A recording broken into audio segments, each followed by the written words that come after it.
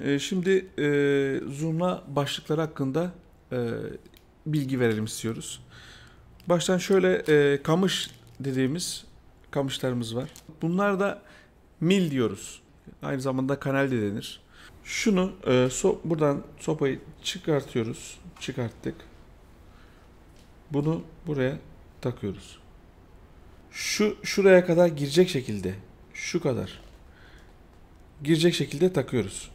Yani şu şu kadar girecek şekilde ipi açıyoruz, tekrardan bağlıyoruz iple. Bunları şu hale getiriyoruz. Şu hale. Yani şunun ucunu kesip yani şu boyuta alıyoruz. Tırnak makasıyla yardımıyla şöyle. Kimi de jiletle yapar bunu.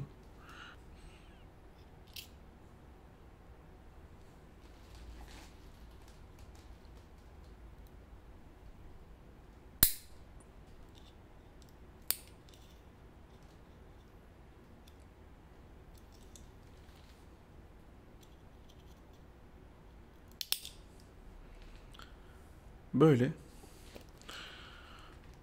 Boyutlarını ayarlıyoruz. Buna yakın ayarlıyoruz. Aynısına getiriyoruz. Ondan sonra çakı yardımıyla şuraları şöyle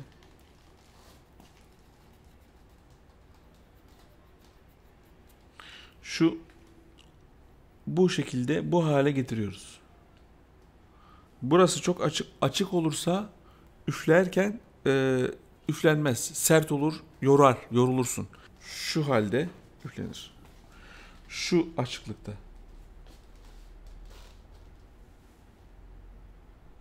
Şimdi bu haldeyken böyle e, sert olur çalınmaz. Bunu e, şu hale getirmek için şu hale bir kıstırgaç yardımıyla buradan böyle tutulur. Yarım saat kadar böyle en aşağı yarım saat kadar durması lazım. Bu kamışı kuru kuru değil de e, nemlendirerek ya da ıslatarak e, yapmamız lazım. Kuru kuru çalınmaz. Çünkü e, kuru kuru ötmez.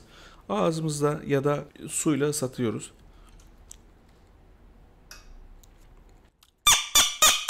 Bu sesi duyduktan sonra zurnamıza şöyle takıyoruz ve ağzımızda kamışa değmeyecek şekilde boş, kamış boşta kalıyor. Ağzımızda hiçbir şeye değmiyoruz. Böyle üflüyoruz.